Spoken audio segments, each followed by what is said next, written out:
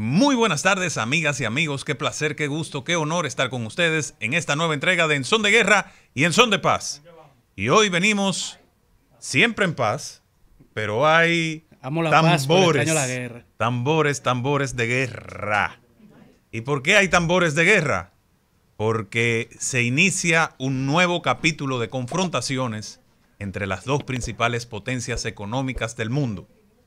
La reina de Oriente, China, y la reina de Occidente, los Estados Unidos.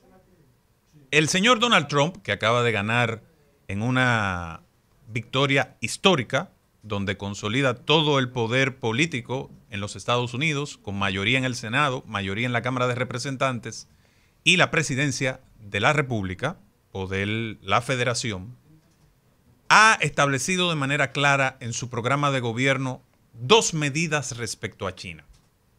La primera, establecer tarifas de hasta 60% a la importación de productos chinos a los Estados Unidos. Y segundo, terminar con una política de años de nación preferencial a China. Es decir, que China disfruta de las mejores condiciones comerciales que tiene Estados Unidos con cualquier país. Estas dos medidas han sido objeto de un juramento por parte de Trump. Serían una establecida y la otra eliminada, lo que va a generar una nueva ola de tensiones económicas. Pero a diferencia del año 2016, donde China tenía una economía que iban, como dice el señor Carlo Mariotti, pumping, ahora China está no en un momento de crecimiento, sino en un momento de cierta crisis económica doméstica. Los chinos se han adelantado porque preveían que la llegada de Trump iba a tener impactos importantes y lo que han comenzado a hacer es a diversificar las canastas donde colocan sus huevos. Han lanzado una iniciativa para aumentar las relaciones comerciales con los países del sur, llevando incluso algunas de sus tarifas de importación a cero y eh, buscando vías para colocar sus productos en otros mercados. Trump significa, significa no muy buenas noticias para los chinos. Y aunque algunos analistas dicen que establecer tarifas a su principal socio comercial va a tener efectos inflacionarios, parece que el equipo republicano tiene todo perfectamente previsto. Entonces, se preguntarán, ¿qué significa esto para la República Dominicana? ¿Por qué es importante para nosotros los dominicanos esta nueva era de confrontación entre los Estados Unidos y China. Parte de lo que ha venido haciendo Estados Unidos es traer su cadena de suministro a países amigables o a su propio territorio, de forma tal que en una posible confrontación de otro nivel a futuro, su cadena de suministro no sea cortada. ¿A qué nos referimos con cadena de suministros? Productos que compran, productos agrícolas, productos químicos, eh, minerales, pero también productos tecnológicos. República Dominicana puede beneficiarse, por ejemplo, de la relocalización de la industria de semiconductores, que está colocada ahora mismo en Taiwán, una parte importante, otra en eh, Holanda, pero ya hay especies de cooperación entre nosotros y los Estados Unidos para comenzar a prepararnos para esa industria.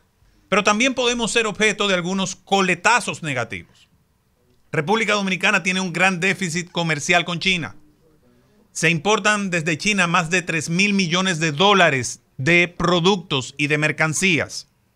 Y el cierre competitivo de Estados Unidos como destino de exportación podría significar un aumento de la presión de los productos chinos para entrar al mercado dominicano. Pero nosotros estamos teniendo un problema con muchas de esas importaciones.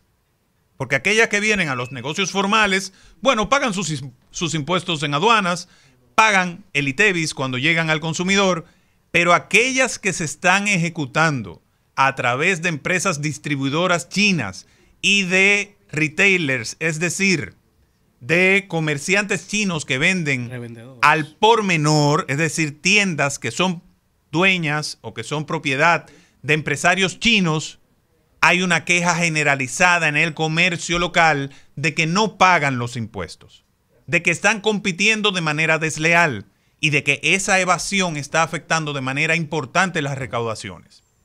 Algunos economistas dentro de ellos Andrés Daguajre, hijo, ha propuesto un impuesto único a la importación de productos desde China cuando se trate de ese tipo de comercio. Un impuesto único que eh, se extendería desde los 40 mil dólares a los 150 mil dólares el furgón. Esa es una medida interesante en la que debemos pensar de manera seria, porque si se intensifica como lo hará la competencia y la confrontación en términos comerciales entre los dos gigantes, cuando los elefantes pelean en la pradera, quien sufre es la grama. Y en el juego de poder global, nosotros estamos dentro de los pequeños países que se pueden ver impactados de manera negativa. Entonces, tenemos que ponerle un ojo claro a ese comercio evasor de parte de eh, ciudadanos chinos en la República Dominicana. Es uno de los temas más importantes para el futuro de nuestra economía. No podemos escatimar esfuerzos para evitar que empleos formales dominicanos, que empresarios formales dominicanos, que negocios que aportan al desarrollo del país sean objeto de competencia desleal en perjuicio de la economía dominicana, de nuestro avance, de nuestro desarrollo. Somos amigos de los chinos, tenemos relaciones diplomáticas, tratamos con igualdad a todos los países. Lo que no podemos permitir es que nuestra economía se vea afectada por malas prácticas que no son aceptables en ningún lugar del mundo. De este tema seguiremos hablando. De este tema seguiremos profundizando para el bien de la República Dominicana y para mantenerlo a usted orientado, que es nuestra misión. Buenas tardes y muchas gracias.